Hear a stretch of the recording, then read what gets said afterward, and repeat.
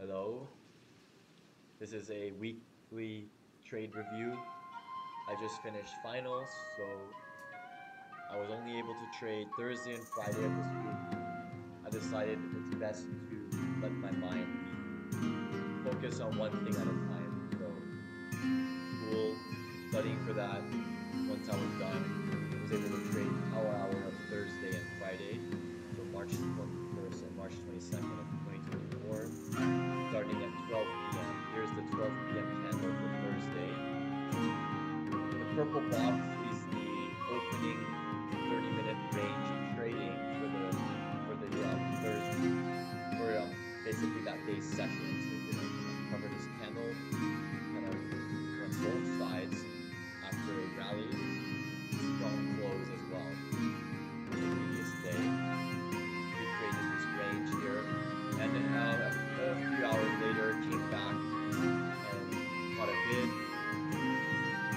Then towards the end of the day,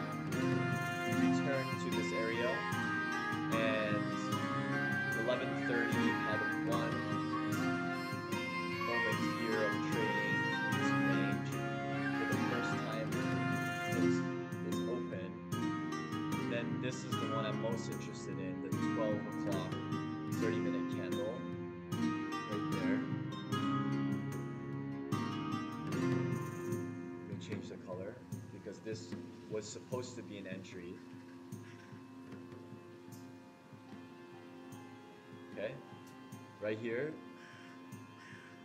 Oh, this is difficult to work with. There we go. Right there at 18,560 was the 12 p.m. the high noon entry here, beginning of power hour.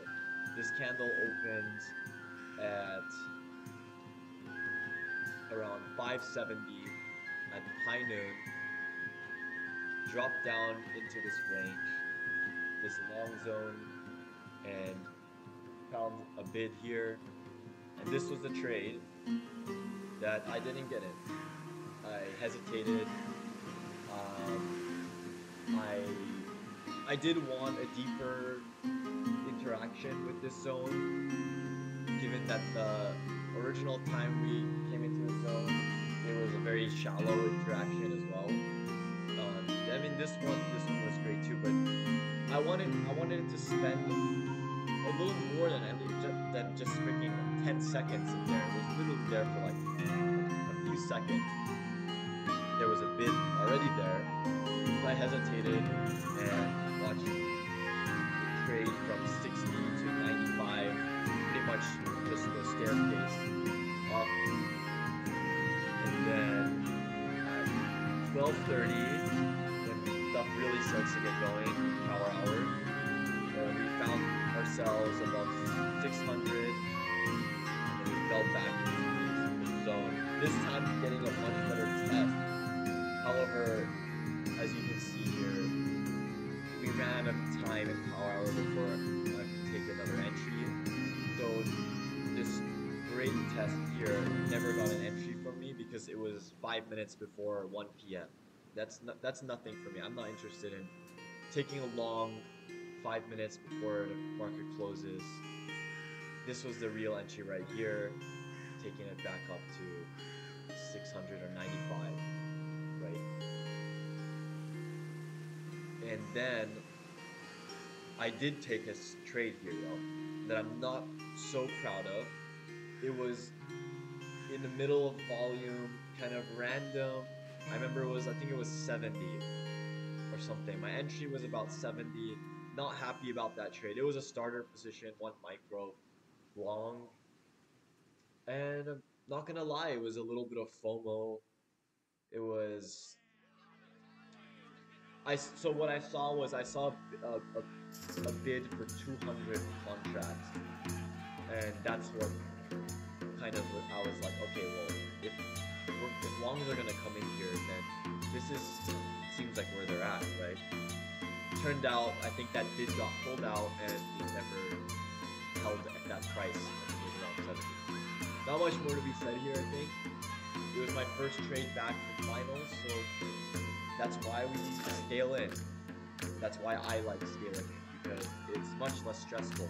Took a $25 loss there. Alright, moving on. Delete the Thursday range. Now here is Friday's opening range. And this is the, the, the futures market opening range. The New York opening range for Friday is this green this green uh, long zone here. It, it would have been nice if you guys could see the volume profile Friday. I can attempt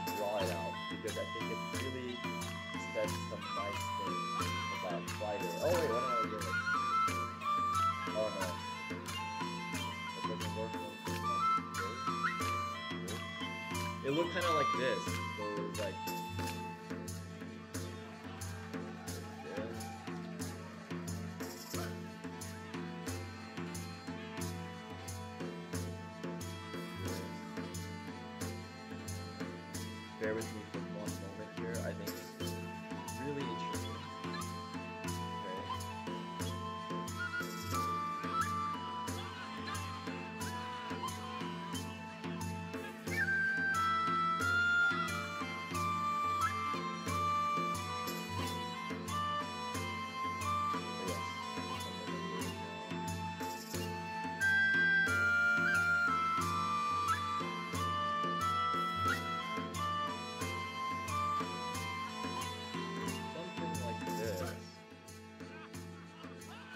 Okay, that's what the volume looks like. You can see why I drew these yellow boxes because these are the anti-nodes of the volume for Thursday or Friday.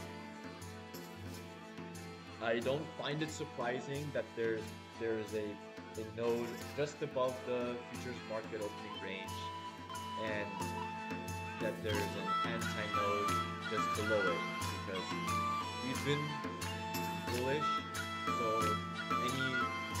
lower prices are gonna get bid up real real quickly or, or they're not really gonna get transacted at as you can see this area just uh, went through right?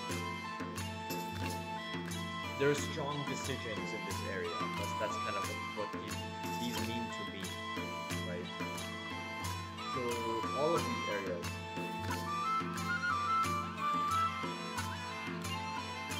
well what, what did I do good on Friday? So I traded power hour. Here is the high noon candle 12 p.m I was right here ready for this trade and we just never got it. We never we never got the zone right? It did it did uh, interact with the anti-node. Could i have gotten in a starter position? Yeah i could have should i have probably because it was friday and i think there were definitely a lot of too many shorts and um, definitely a little bit of covering should have happened which it did so that was a little mistake. Should have gone in a starter position there, and that would have been great. If we got a better interaction with this long zone, then that's when more contracts will be deployed for business risk. But this one could have deserved a little bit of business risk, but I hesitated. And then in that moment, I realized how much longer am I gonna keep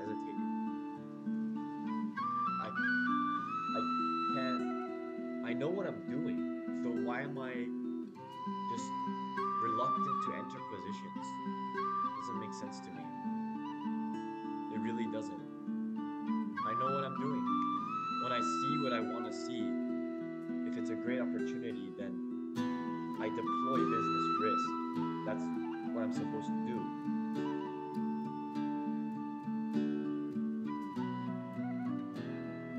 So I watched the longs come in, struggled around uh, the open here of 80.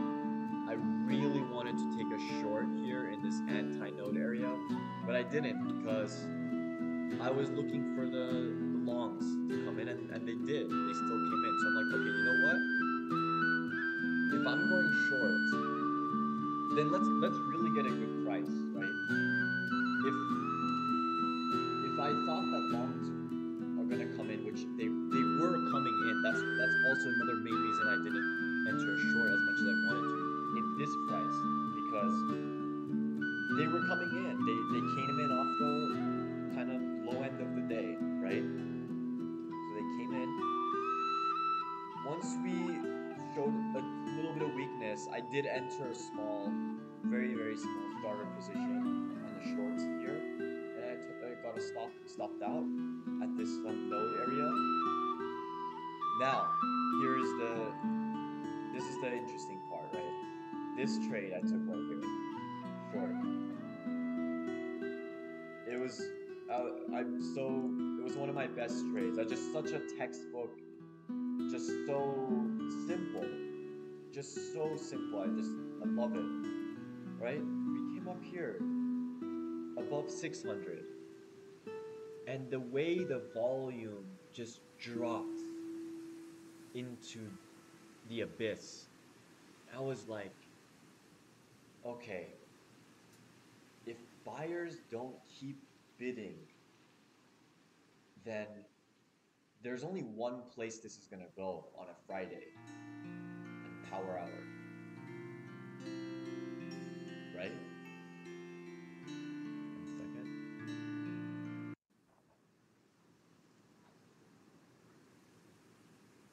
The volume shelf disappeared.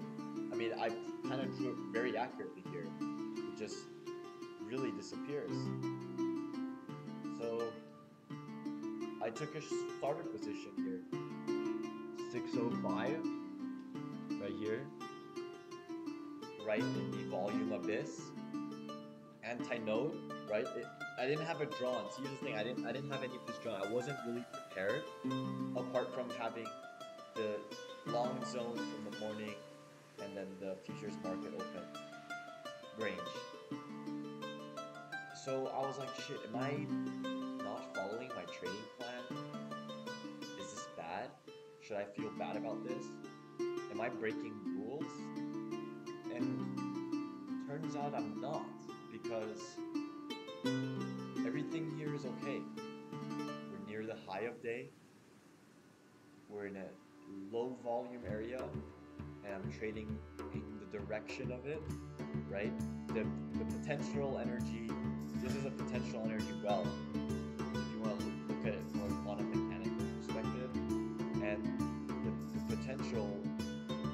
rises here in this area, right? So if, if you were to solve the Schrodinger equation for a one-dimensional particle that can that can either go up or down, then the wave function would, in its lowest energy state, show that the particle is most likely to be found in this area, given by the, the half a wavelength of a sinusoidal curve. So I took my short here, starter position, and sellers came in. I was watching what's going to happen at this node of previous equilibrium, right above the futures market range. Our long was going to continue what they were doing in the last 20 minutes, 30 minutes, and make the shorts give up. They didn't.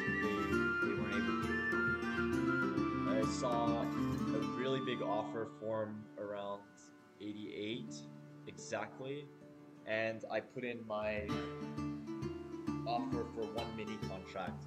I'm ready to go in. This was me. I was like, if you don't put business, if you don't, if you don't put real business risk on these really great trades, great setups, sorry, then when are you going to just you can't make something out of thin air, right? I'm ready to put risk on. I'm I'm getting over trying to be passive. So I put in my offer at 18,588 for one mini short, and my stop loss was where this starter position would be break even. So if longs did come in, we would come up here, and I would take a break even trade on the starter position and a 72 ticks stop loss on the mini So that would be roughly, I don't know what, what is that? Upper three hundred dollars business risk. Perfect. It's a really good trade. I'm, I'm gonna put half of my daily stock on this trade, right? And the market's closing. It's Friday. The sellers came in. I got I got the filled. Sellers came in. Flush below the open at 80 and a, half. The 12:30 candle closed, and the 1 p.m. candle opened. And I did take this trade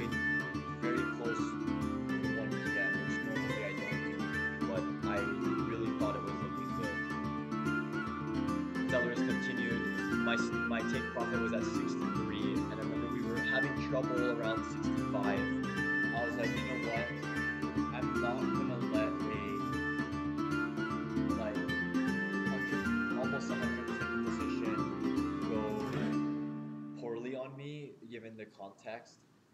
So I'm gonna move my take profit up two points from 63 to 65. So I got filled. We did eventually cover 63, like as a uh, it got traded, and if I had just left it there, it would have been filled. But in the moment, I just really wanted to secure what I was looking for, and especially given this anti-node. So we were we were just hovering around this anti-node at the at the low of the futures market, and I was like futures market opening range, and I was like, I'm asking for two points. I'm asking for forty bucks, but I'm risking the hundred like the uh, the like eighty ticks that I'm up. Is that really a good uh, trade-off? No, because I got what I was looking for. Right? I shorted volume of this near the high of day on a Friday on power hour. Looking for sellers to take the market back to an equilibrium for the weekend. That's exactly what happened.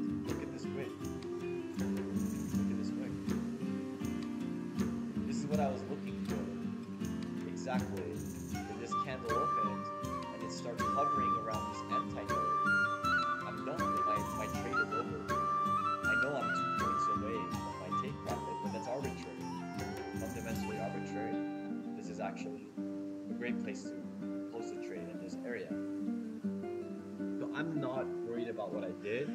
However, I'll keep an eye on it if I continue to be moving my take profit orders like that very often.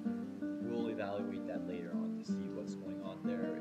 Is it a psychological thing? Is it a is it a doubtful thing? Or am I doubting the, the like my technical ability?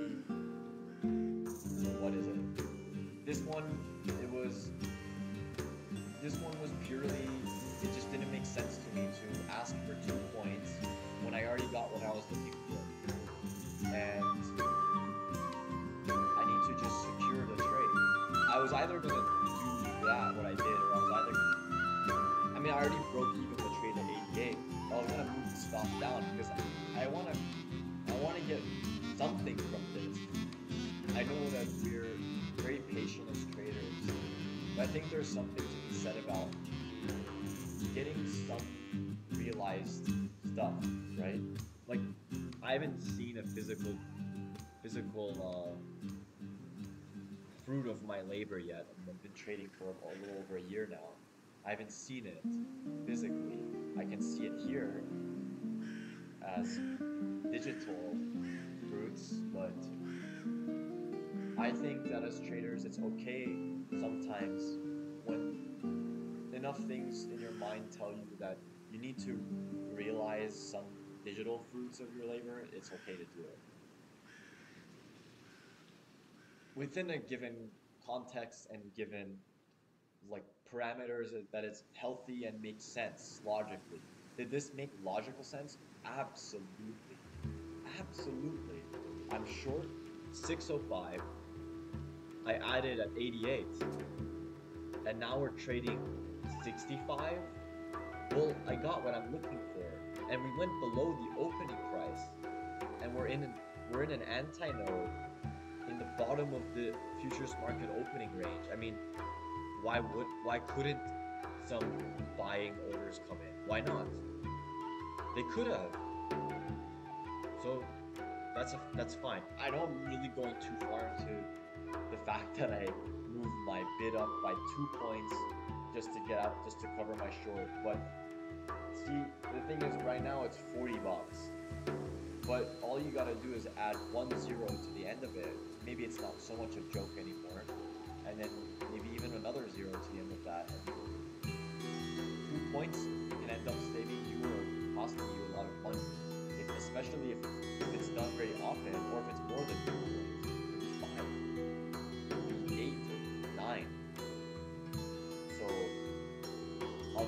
Watching that, making sure I don't keep doing that, and I'm making sure that when I do do something like that, it makes sense exactly like this made sense to me.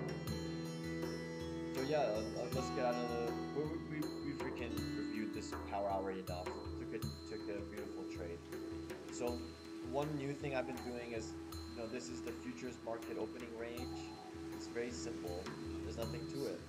If it makes sense to me, I'm gonna plot that as a zone, right? And it, it won't be a color when it looks like this because this this one got already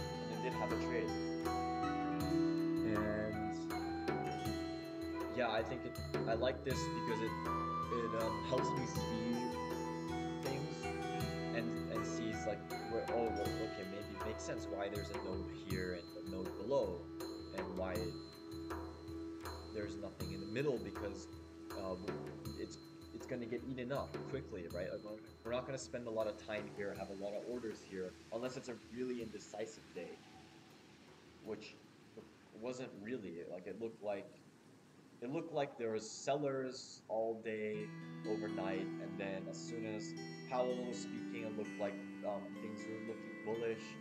It wasn't really an indecisive day. Indecisive day to me in my opinion would be like where we barely make a make a um, any distance outside of um, expanding the day's range from the futures market open so. And what else another thing I want to do is like stop. I know taking one trade and being done, getting hundred like ticks on a mini is is really good. It's like a base hit. I mean, look, all I've been doing is base hits. I've been barely trading. Let me see. This week, I mean, yeah, I barely traded. I took how many trades did I take? I took four trades this week. And I took three trades last week. Okay. This month, I've only taken seems 13. Yep. 13 trades. Oh wait, sorry, this is wrong. Oh, oh, sorry. This month I've taken 13 trades. And here's my stats.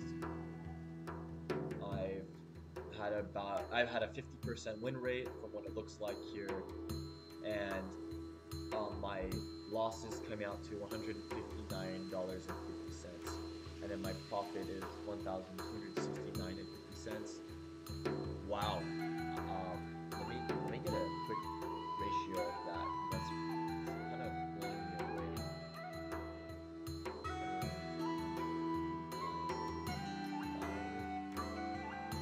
Well, that's um seven. That's a seven point nine. Or let's call it an eight to one ratio profits to loss. Right there. And it looks like my winning trades tend to be quick when I'm when I'm doing well on a calling opportunity out. And it seems like losing trades tend to hover around. Alright, I tend to hold them.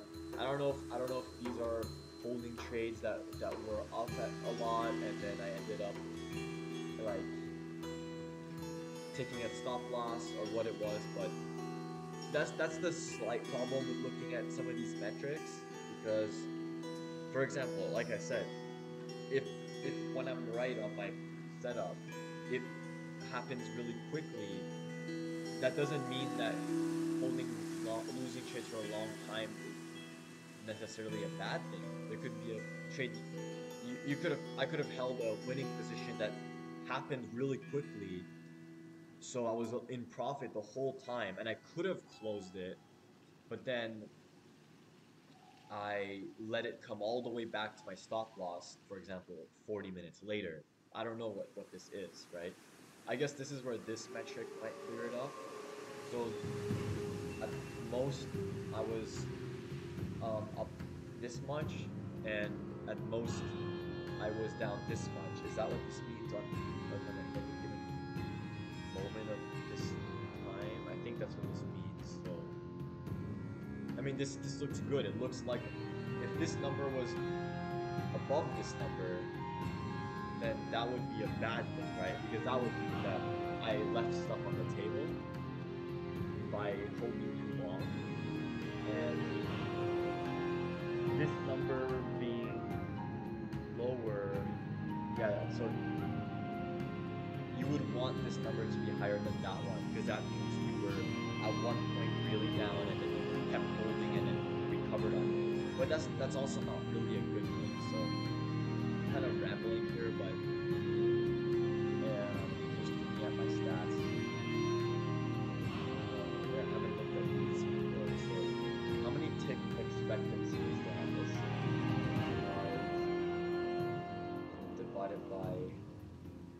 we'll divide it by what it would be for mini. So, yeah, 17 ticks.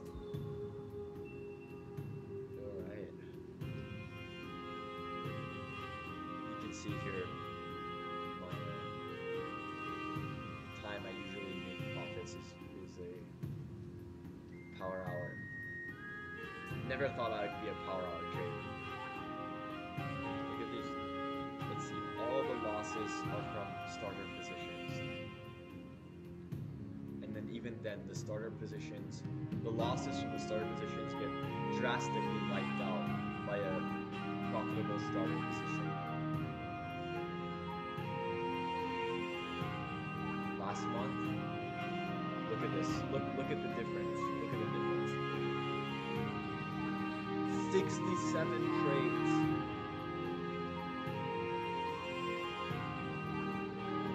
My win rate was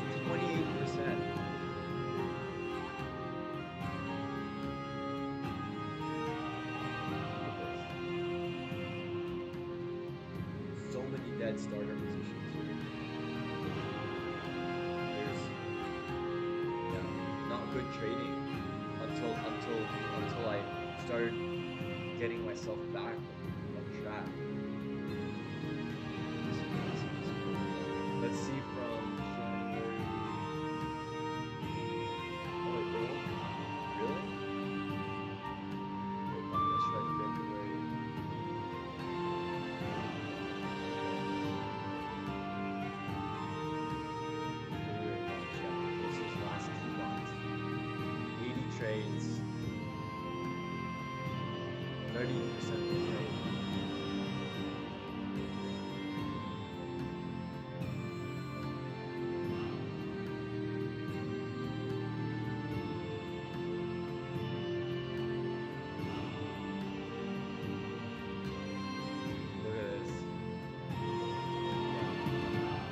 So it does, it, it looks like it does even out as the range of my statistics go larger.